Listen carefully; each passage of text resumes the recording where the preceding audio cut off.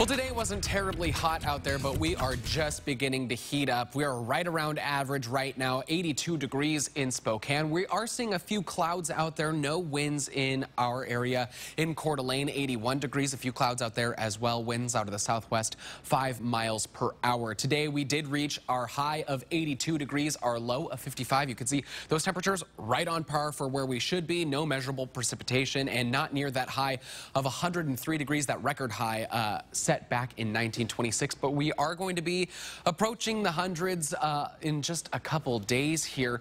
Taking a look at our weather timeline. We're going to be hot tomorrow through Friday. Friday going to be the hottest day of the year and the hottest day in the seven-day forecast, but then we get breezy Friday through Sunday as a cold front makes its way into the inland northwest and cools us down just slightly for Saturday, and those breezy conditions going to remain, which means we will have an elevated fire danger as the those as that cold front moves through the area and then we get very hot again Sunday beyond in the seven day forecast. Expect temperatures for many of those days to be into the 90s.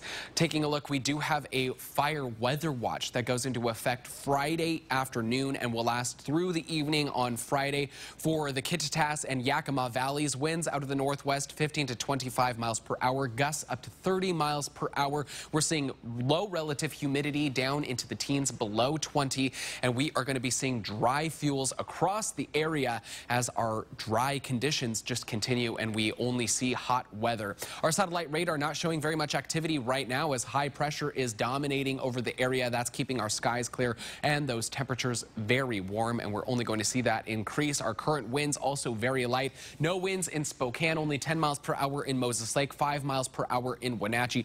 Good news for fires that could start, but that is not going to be the case. As I was saying, a cold front will be moving through, and we'll start to see our winds pick up into Friday, uh, especially just east of the Cascades. You can see we're seeing a little bit of activity, and then into Friday afternoon, evening, we really start to see some of those stronger gusts. Our lows tonight are going to be into the upper 50s, lower 60s, 60 in the valley, 59 degrees in Coeur d'Alene, 62 degrees in Omak, 55 in Colville, and 57 degrees in Bonners Ferry. And then our highs tomorrow into the 80s across the region, though there are a few 90s out there, 92 in Omak, 94 in Moses Lake, 92 degrees down in Lewiston, 87 in the valley, and 85 degrees in Coeur d'Alene.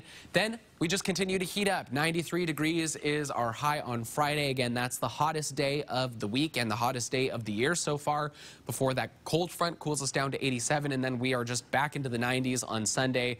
Monday, Tuesday also in the 90s and we're pretty close to that on Wednesday. So hopefully you got a way to cool down because it's a hot one. Now we'll send it over to Keith.